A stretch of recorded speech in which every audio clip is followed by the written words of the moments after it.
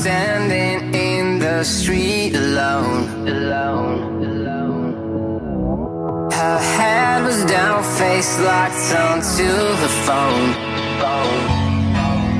And I wished I'd had a number so I could be color unknown. And then I tell her look into my eyes and never let it go.